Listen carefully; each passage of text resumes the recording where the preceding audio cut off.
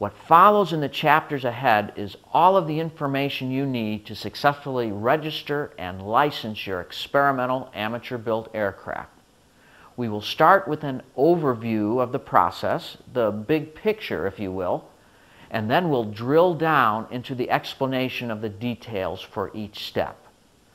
We'll show you the government forms that are required at each step and how to fill them out and discuss the common mistakes that can occur.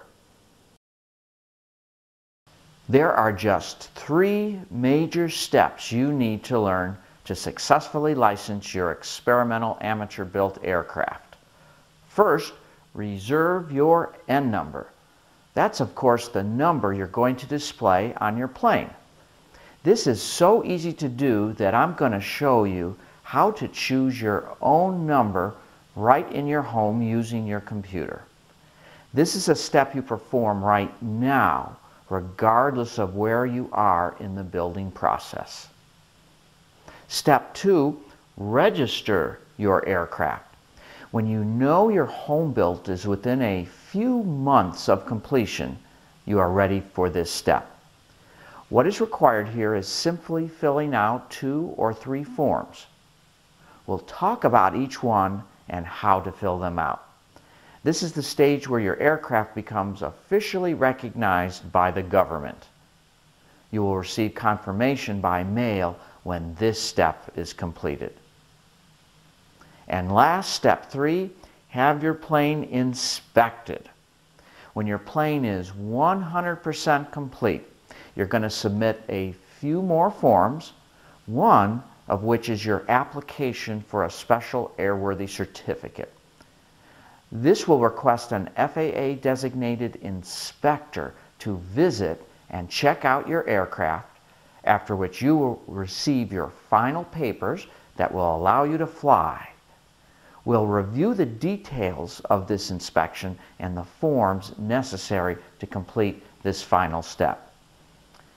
Here is the FAA web address that will start the journey for choosing your own N number. This address takes us to a page with a wide variety of online customer services for aircraft owners. The link that we are interested in is the Interactive Aircraft Inquiry website. Click on this link to begin the process. There are many different ways to inquire into the FAA's N number database. When you are about three months from completing construction of your aircraft, you should think about the registration process. This major step consists of carefully filling out forms and submitting them to the FAA in Oklahoma for approval. Upon approval, you will receive in the mail Form 8050-3, which is your permanent aircraft registration card. You must have this card before your plane can be inspected, which is major step 3. Before we move to our next form, we need to make a decision about your home building. Are you building from plans or are you building a kit? This is an important distinction in the registration process as this will determine the forms that are required to be submitted. If building from plans, then you only need Form 8050-88 Affidavit of Ownership for Amateur Built Aircraft or its equivalent this form should be found in your amateur built aircraft certification package. Five documents need to be prepared in order to request your inspection. First, the Permanent Aircraft Registration Card 8050-3 that the FAA sent you.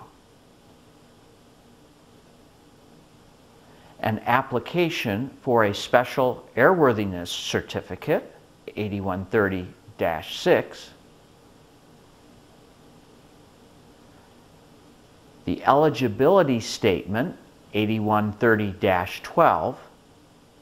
Here you're going to certify that you in fact built this aircraft. the operating limitations document is unique in that it has two phases. The first phase requires that you fly your new home built in the test area. Remember that you requested this when filling out the program letter. Once you have acquired all four of these documents, you are able to fly your home built. You can remember these four documents with the acronym AERO. Each year, your new aircraft requires what is known as an annual condition inspection. This inspection must be performed by a licensed A&P aircraft mechanic or the original builder of the plane if that builder obtains an amateur builder's repairman certificate.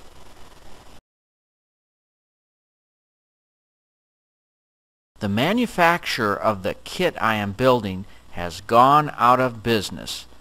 How can I register my plane if I need to obtain a bill of sale from them? The FAA is aware of these situations as they understand the nature of home-built manufacturing and its inherent volatility. Builders should create a statement that documents the attempts to obtain a bill of sale and why those attempts were not successful.